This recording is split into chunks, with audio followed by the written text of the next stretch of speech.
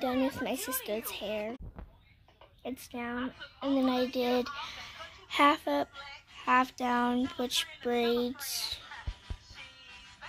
And yeah.